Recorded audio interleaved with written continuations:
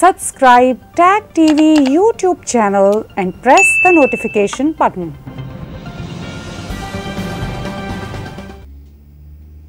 Hindu Forum Canada की तरफ़ से ताहिर गोरा आपको नमस्कार कहता है आज मैं हिंदू फोरम कनाडा की तरफ़ से इसलिए कह रहा हूँ कि हम हिंदू फोरम कनाडा के तीन साथी यहाँ पर बैठे हुए हैं और कनाडा में हम हिंदू फोबिया के ख़िलाफ़ भी लड़ रहे हैं और हिंदू सिविलाइजेशन को भी प्रमोट कर रहे हैं। और आज की जो शुभ घड़ी है, उसमें तीन चार बातें इकट्ठी हो गई। अगस्त के पहले वीक में ट्रिपल तलाक भारत में उसका कानून बना कि उसको आप नहीं दे सकते। ये इतना ह्यूमेन लॉ है इन ह्यूमैनिटी को ख़त्म करने के लिए। प्राइम मिनिस्टर नरेंद्र मोदी ने स्टेप फॉरवर्ड लिया।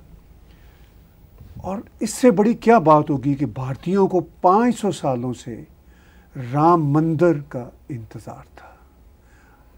इसी हफ़्ते 5 अगस्त को राम मंदिर, यानी आज ही के दिन जब लम्हे हम आपसे बात कर रहे हैं, राम मंदिर की बुनियादें रखी जाएँगी।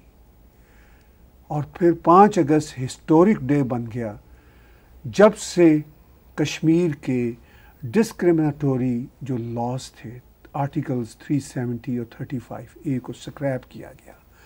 मैं एक बात बार बार कहता हूँ कि जो हमारे हिंदू बहन भाई हैं, मैं खुद हिंदू हूँ I am Hindu born in Muslim faith I always say हम सबको अपनी शाइनेस को अब स्क्रैप करना है। चूँकि हमने लॉस तो स्क्रैप कर दिए, लेकिन हम अपने आप को ना तो डिफेंड करते हैं, ना प्रमोट करते हैं। वो भी दिन जुड़ा हुआ है और फिर हिंदू फोरम कनाडा ने तय किया कि कनाडा में कोविड 19 से जो एक पूरा समाज गुजर रहा है, पूरी दुनिया गुजर रही है, हमने तय किया कि हिंदू फोरम कनाडा से परमिशन मांगी जाए तमाम सिटी काउंसिल्स अक्रॉस कनाडा कि हमें हमारे हिंदू रिचुअल्स सेलिब्रेट करने की इजाज़त दी जाए। सबसे बड़ी बात यह है, हमारे जो सीनियर्स नहीं जा पा रहे मंदिरों को तो क्यों ना हम लाउड स्पीकर पर दिन में पाँच मिनट ही सही बीस दिन के लिए परमिशन मांगी है अगस्त 11 और सितंबर 1 तक। इन सब पे बातचीत के लिए मेरे साथ हमारे बहुत ही दिल अज़ीज़ राव साहब जो प्रेसिडेंट हिंदू फोरम कैनेडा मौजूद हैं डॉक्टर राज जगपाल जी। ये दोनों ऐसी हस्तियाँ हैं किसी तारफ़ के मोहताज नहीं एक्टिविस्ट हैं और कोई इनको मेरी तरह शायनेस नहीं है ना तो अपनी हिंदू सिविलाइजेशन को डिफेंड करने में ना प्रमोट करने में। So Rao Sahab what is your feeling this week it's a very sacred week it's not just one thing too many good things first of all let me talk about August fifth right it's a special day great joy and pride for people of India right specially for Kashmiri Pandit you have to remember that it's almost 70 years. And especially since 1992, Kashmiri Pandits were living as refugees in their own country. Almost 250, 300,000 families were uprooted. No political party came into support because of appeasement, loss of vote bank. On August 5th, 2019, my dream came true, Yes. my childhood dream. I was dreaming for this. The only reason my dream was is that if Indian citizen, Kashmiri people are allowed to buy property, or marry a girl all over India, they can do whatever you want. Being an Indian citizen in my own country, I could not buy a land or any of Indian citizen cannot marry a Kashmiri girl. This was the unfortunate situation happened and it was due to appeasement of politics. Right. The main other thing is there are two things you have to remember. One is Article 370, existence what has happened, and removal of Article 370, what is happening. Article 370 gave ammunition for terrorism and separatism. These are the main goals which were mostly beneficial by two political families. Article 370 also gave Kashmiri people very good ammunition such as human shield, suicide bombing, pelleting stones. These are all the benefits they got while the Article 370 existed. Now, no economic benefits. Now, since removal of Article 370, there are different benefits we are getting. First of all, development, opening universities, colleges, investment opportunities, and after Article 370 removed, you can see the amount of development is taking place in Kashmir. If this pace continues, believe it or not, Kashmir, Jammu and Kashmir and Ladakh will be the most prosperous uh, union territories in India. This is my observation. Oh, wonderful. So, and in last 70 years, nobody has dared to remove Article 370. Prime Minister Modi was looking for national interest, not political gains, Right. not appeasement.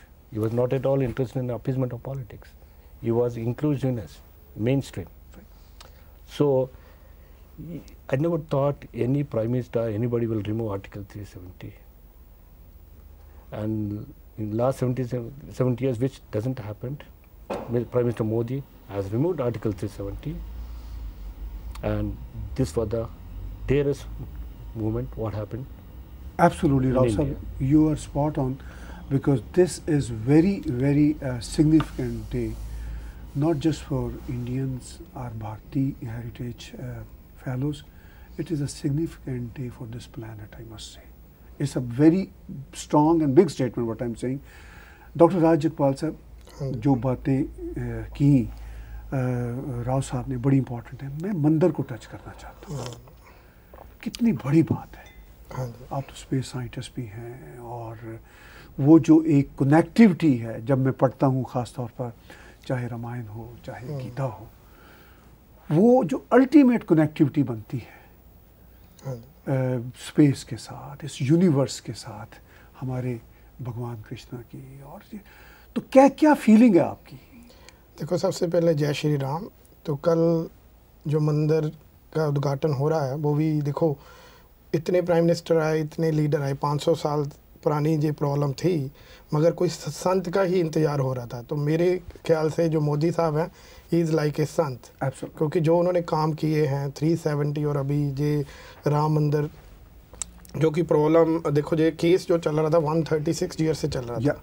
तो 136 साल चला सबसे longest case है मेरे ख्याल। And जो resolve किया, वो सुप्रीम कोर्ट ऑफ़ इंडिया ने किया, जो कि हर कंट्री में जो सुप्रीम कोर्ट होती है दे आर सुप्रीम तो इसमें जो मैंने देखा, जब रिज़ल्ट आया, किसी ने भी नो बडी इज़ विक्ट्री कोई लूज़र नहीं था. एवरी इंडियन चाहे किसी भी रिलीजन का था, उन्होंने इसको एक्सेप्ट किया. क्योंकि उन्होंने बोला कि यार, भगवान राम तो सभी हैं. भगवान राम के आने से पहले भी, भगवान राम का नाम था. वो कन कन में है. अगर आप कोई भी रिलीजियस बुक देख लो, किसी भी धर्म की भी देख लो, हर में राम का नाम आता है।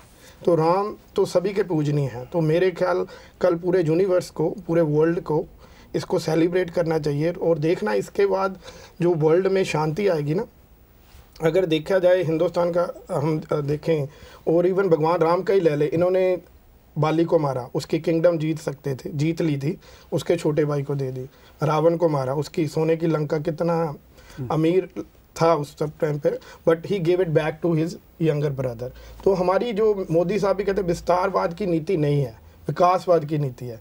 तो मेरे ख्याल कल सभी जो राम भक्त हैं उनका एक सपना पूरा होगा and this will give a new heights to India and Sanatan Dharma and Hinduism बहुत आपने अच्छे तरीके से हमें ये बात समझाई कि ये असल में यूनिवर्स पीस की बात है। हाँ जी।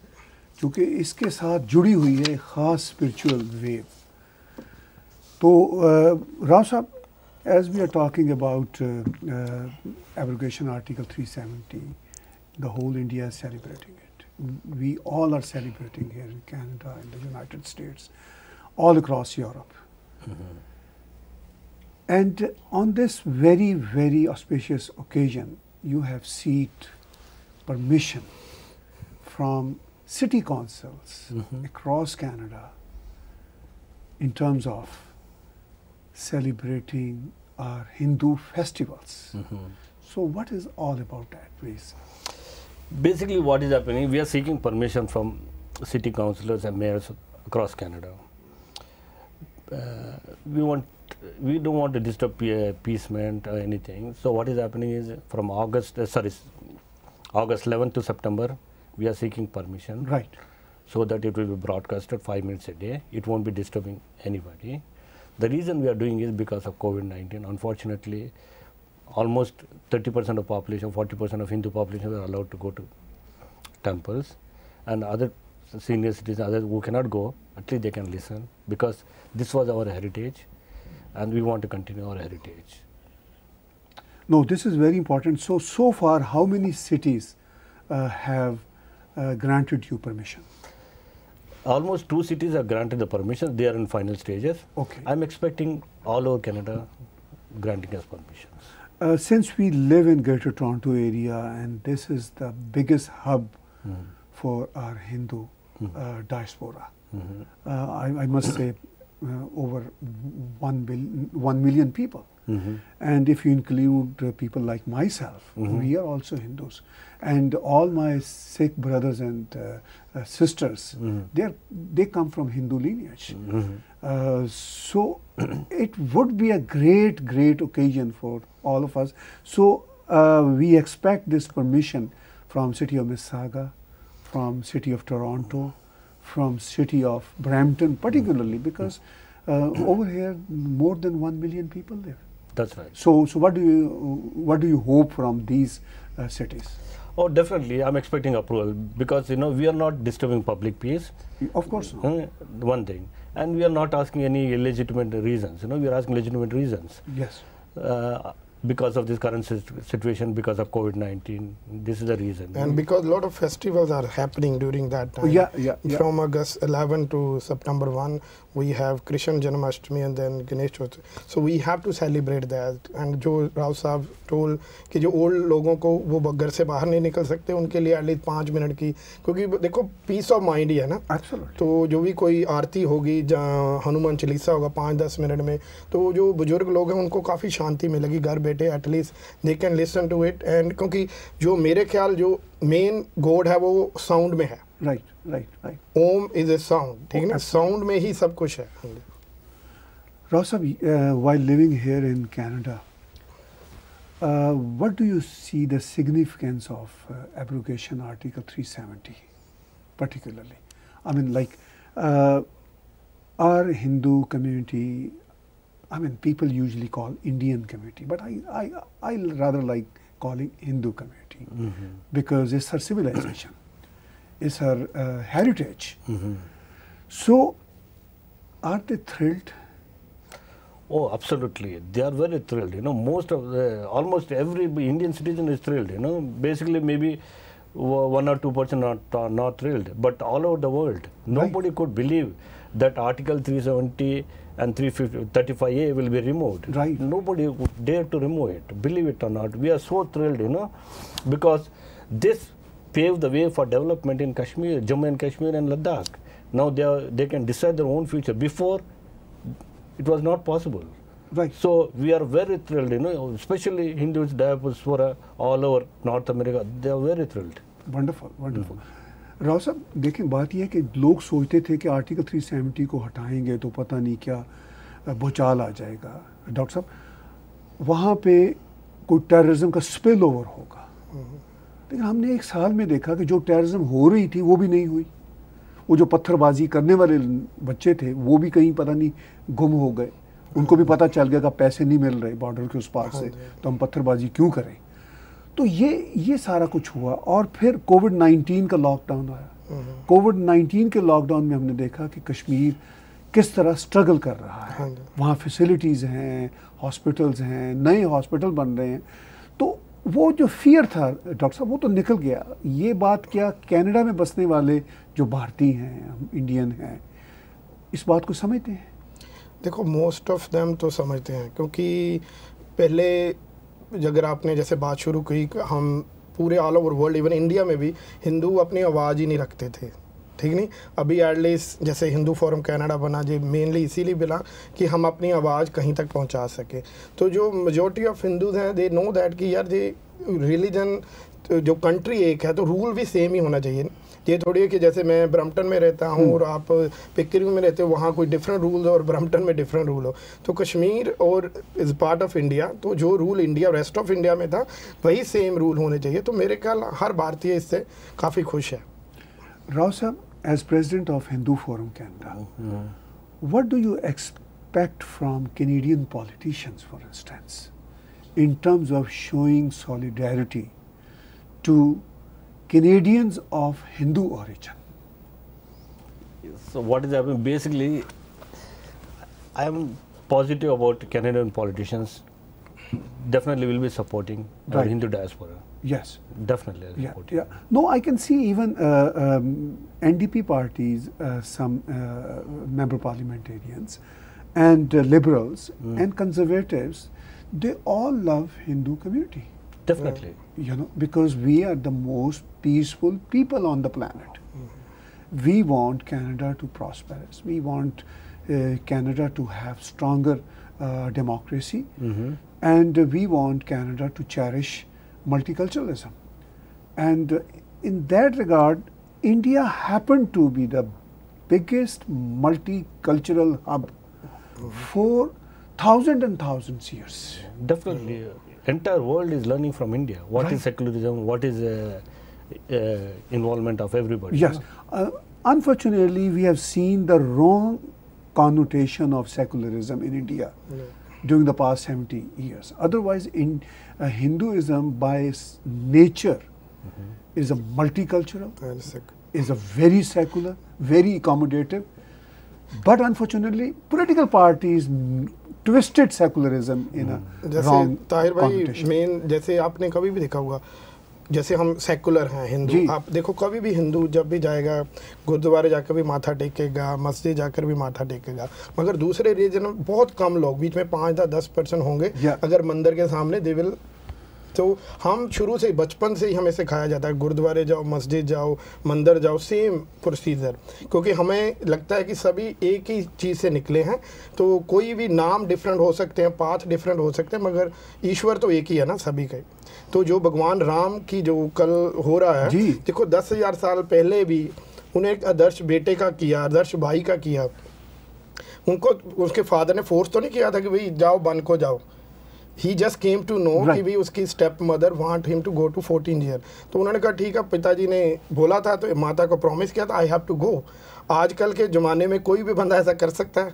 तो वो वहाँ से जो सीख हमें मिली है सेकुलरिज्म की to get everyone together तो वो अभी भी इनहेरेंट है हिंदुइज्म में तो मेरे ख्याल ये जुगो जुगो तक चलती रहेगी बिल्कुल आप ठीक है uh, Tari Sahab, what happened is, until 2014, Hindus were minorities in India. Do you know that? I mean, they were treated as minority. Means, Ye- means yes. indirectly, I'm Yes. saying that even they were treated, Yes. they were acted as a minorities. You have to remember that, sir. Until 2014, it was very difficult. Yes. Hindus didn't had any voice in India, believe it or not. Yes. And even in Canada. So this is the reason in North America we are focusing on Hindu Forum to promote mm, our civilization, to counterattack Hindu phobia. Right. These are all main main objectives. Sir. This and to promote Hindu civilization. Yeah, definitely. You know what uh, Dr. Uh, Raj said, Rao sir, that is the most tolerant civilization, most embracing civilization. I have seen, I have observed in India in many temples, they have equal respect for Jesus. They have equal respect for Guru Nanak Ji, the Great. Mhm. They have equal respect for Prophet Muhammad Yeah. you know, and they have, of course, equal respect for Lord Ram, for Lord Krishna ji, and everybody, every every uh, gesture of God, I must say. So that's what Hindu civilization is. So, Rao Sahab, do you hope? Uh, do you have hope from our politicians precisely that they would understand the depth of Hinduism? Definitely, sir. First of all, what is happening? The main goal of Hindu Forum Canada formation is to educate politicians about Hinduism And, media. media also, especially also media also. Media is always biased against Hindus. You have Right, to remember right. in Canada or all over the world. Yeah. You know, as soon as uh, Prime Minister Modi talks, they talk about Hindu Vata, or saffranism, or right wing Right. Hinduism, and they talk. But they don't know don't know the facts of what is happening in India, no? especially, no? Right doctor Rai Sahab covid 19 के इस ज़माने में Hindu forum ने बहुत सारे hospitals को बहुत सारी छोटी छोटी ऑर्गेनाइजेशंस को हेल्प की। हालाँकि जो हिंदू फोरम का मेन पर्पस है वो तो ये है कि हमें हिंदू फोबिया से लड़ना है और हिंदुज़म को प्रमोट करना है। लेकिन हम कम्युनिटी सर्विसेज़ में भी इन्वॉल्व हैं। उस पर थोड़ा सा बताइए। देखो कम्युनिटी सर्विस से एक तो हमारी ऑर्गेनाइजेशन का एम क्योंकि कोविड 19 में जो प्रॉब्लम आ रही थी जो हमारे हॉस्पिटल या police man they are serving without मतलब कि उनकी कोई हेल्प नहीं कर रहा था। तो हमने सोचा कि चलो गवर्नमेंट तो कर रही है बट अकॉर्डिंग टू जैसे हमारे प्रेसिडेंट साहब ने हमें दिया कि दिस द वे हम सभी हॉस्पिटल्स में, जिस जिस में भी जाकर खाना दें the way you feel like the day I went to time I feel so good from my heart and they give us so many good wishes क्योंकि कोविड 19 में देखो, सारी दुनिया को हिला के रख दिया। तो इसमें जो हॉस्पिटल्स ने जो किया, वो हम नहीं कर सकते कि हम नॉर्मल ह्यूमन बीइंग अपनी लाइफ को डेंजर में डालकर। Right, right. तो हमने एक छोटा सा जेस्चर किया जिसके लिए हमें आशीर्वाद मिल रहा है भगवान का। तो हम we are very happy from our heart wonderful in the end Rao I like to know what is the perspective of Hindu forum Canada and what would you like to add in today's talk our main perspective of Hindu forum Canada is Tahir sahab to educate Canadian politicians about Hinduism and Hindu civilization, and we expect the media to treat uh, Hinduism in a proper manner. Right. That's my main objective. Right. Any last comment? मैं तो यही बोलूँगा कि देखो कल का जो दिन है सभी भारतीयों को पूरे यूनिवर्स को सेलिब्रेट करना चाहिए। एक का दिया जलाएँ अपने घर पे चाहे आप कनाडा में हो चाहे आप इंडिया में हो। क्योंकि मैं इंडिया में देख रहा हूँ अयोध्या तो जैसे कहते जब भगवान राम आए थे उस टाइम की तरह उन्होंने सजा दी है। तो एक तो ये काम करें सभी बाकी मिलजुल कर रहें। जो हमारा मेन गोल है कि सभी धर्म देखो मेन ईश्वर तो एक ही है। तो इसलिए जो हमारी जो सिविलाइजेशन है हमारी जो टॉलरेंस नेचर है हिंदुज़म की तो वो पता चलना चाहिए यहाँ कैनेडियंस को भी। तो that's why we seek this permission and we want this permission will be accepted and future में भी हम जो भी हुआ with the law of the land हम करेंगे जैसे भी हुआ ऐसे ही आगे बढ़ते चलेंगे and we want more and more like minded people to join us and so we can go one step further thank you very much you, thank you नमस्कार व्यूर्स आपने बातचीत सुनी हिंदू फोरम कनाडा के जो यहाँ पर पैशंस हैं, जो मिशंस हैं, और जिस तरह हिंदू फोरम कनाडा कैनेडियन समाज को, और हत्या के पूरे वर्ल्ड समाज को हिंदुज़म के बारे में बताना चाहता है, जो हिंदुज़म की स्पिरिट है उसके बारे में बताना चाहता है। हम कई बार इस कॉन्टेक्स्ट में शोज़ कर चुके हैं और आगे भी करते रहेंगे। आज का तजिया देखने और सुनने का बहुत शुक्रिया। Subscribe Tag TV YouTube channel and press the notification button.